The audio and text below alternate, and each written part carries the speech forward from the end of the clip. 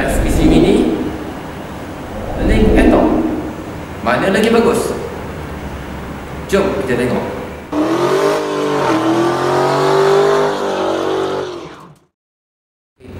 Video kali ini saya nak buat perbandingan antara Mac Issue Mini dan juga Link Atom Apakah fungsi daripada segi luaran dan tentu software dan juga multi-port function. Apakah yang membezakan dua isu daripada segi harga?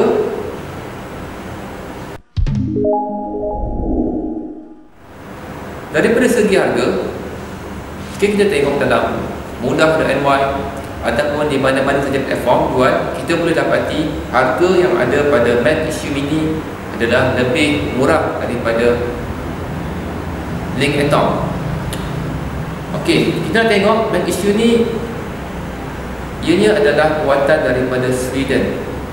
Manakala Link Atom daripada New Zealand.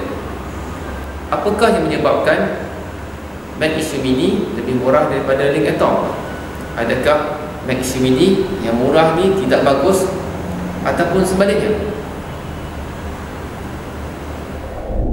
Tujuan saya membuat perbandingan antara dua isu ini adalah pertama kerana dua isu ini adalah harga uh, dalam lebih kurang.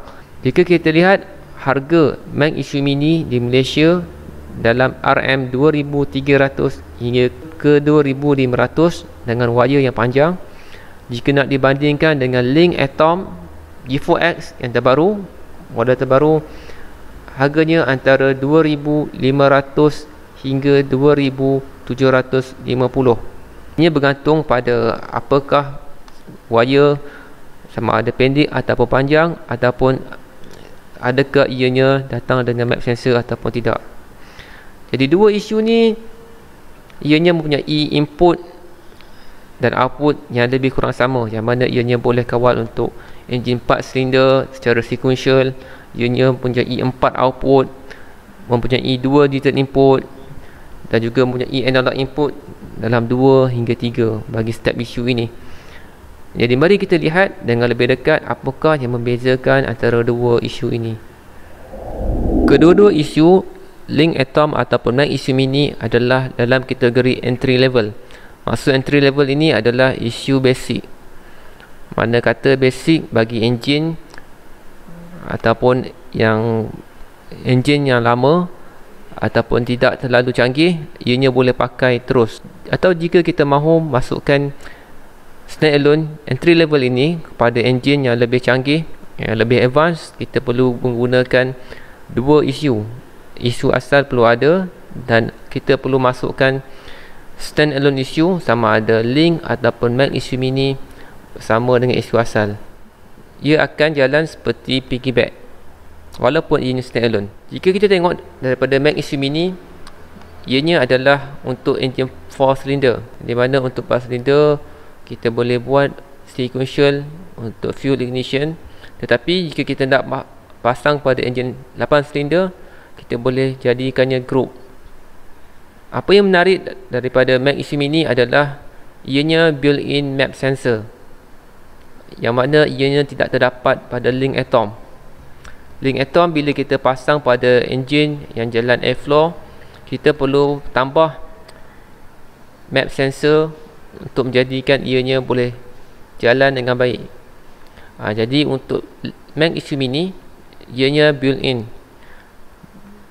Map sensor adalah sehingga 3 bar. Ianya boleh baca boost sehingga 3 bar.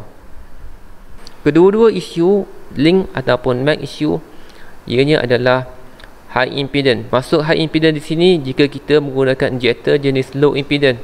Maknanya injector dia punya ohm ataupun resistance kurang daripada 8 ohm.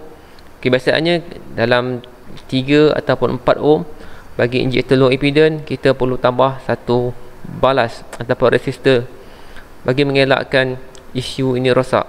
Jadi kedua-dua isu ni adalah jenis high impedance jadi bila kita gunakan isu ini pada engine ataupun injector yang jalan low impedance kita perlu tambah balas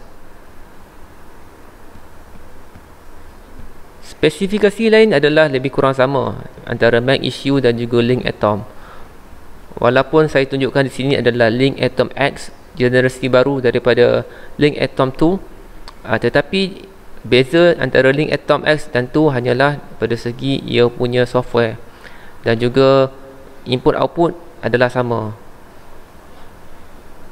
Jadi kedua-dua isu untuk Link dan juga Mac issue ianya mempunyai 4 jeta output 4 initial output 4 output extra. Bagi saya kedua-dua isu ni adalah laju. Bila kita communicate dengan laptop communication bagus data logging bagus dan untuk membuat tune pun mudah.